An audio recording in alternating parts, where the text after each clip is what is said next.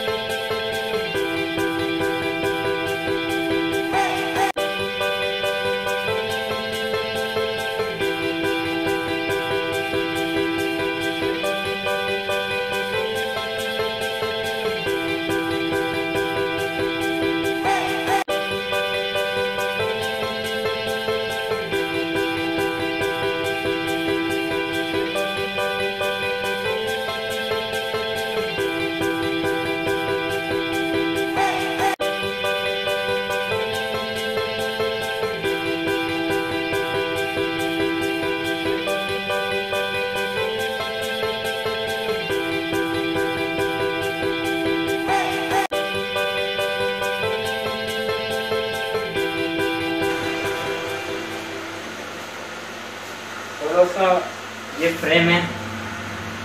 ये फ्रेम है, ये बैठने की सीट है, ये सिर्फ़ टेम्प्ररी मैंने जैसे बोला हुआ ये टेम्प्ररी में देख रहा हूँ सिर्फ़। ये इस तरह से इंजन इसमें रखा जाएगा। तो एक टेम्प्ररी बैठ के दिखाता हूँ आपको कि ये देखें। मतलब लेग रूम भी इनफ है। इनफ लेग रूम में और स्टेयरिंग का भी सही जगह बन रही है। बाकी सब बिल्कुल सेट है। अभी इसका फ्रंट एंड यहाँ पे मुझे काम करना है और बैक साइड पे भी फिनिशिंग करनी है मतलब किस तरह से वो मैं सोच रहा हूँ। इसका फ्रंट एंड और बैक एंड ये बाकी है।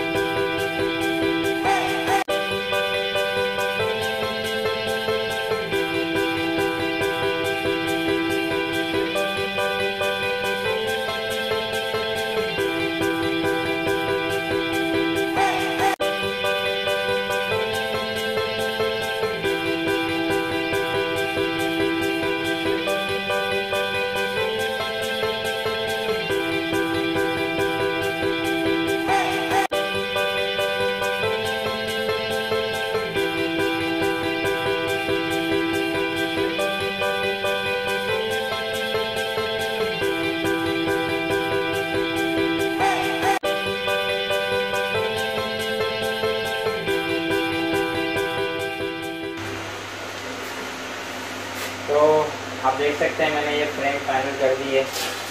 इसको मैंने अभी इससे टच टच करके रेडी किया है। सिर्फ़ टच टच किया है। तो ये पूरी फ्रेम मेरा रेडी है। ये फ्रंट साइड हो गया। फ्रंट साइड और वो बैक साइड हो गया। तो यहाँ पर स्टेयरिंग का सिस्टम होगा स्टेयरिंग रॉड यहाँ से वहाँ जाएगा। यहाँ पे मेरा लेगरूम होगा ब्रेक पैडल और एक्सलेटर पैडल मैं यहाँ पर यूज़ करूँगा। तो वहाँ पे बैठने के लिए मैंने जगह बनाई है और वहाँ पर बैक साइड पे इंजन जो मैंने आपको दिखाया हुआ है कि इंजन में कैसे रखूँगा। और सीट किस तरह से होगी वो भी आपने देखा हुआ है। तो दोस्तों, आज की इस वीडियो के लिए इतना ही है। इतना ही आज की इस वीडियो में। तो अगर आप मेरी वीडियो पसंद आई हो तो डाउन साइड पे सब्सक्राइब ज़रूर कर दीजिएगा और लाइक बटन भी ज़रूर दबाइएगा। Thank you guys for watching and have a great day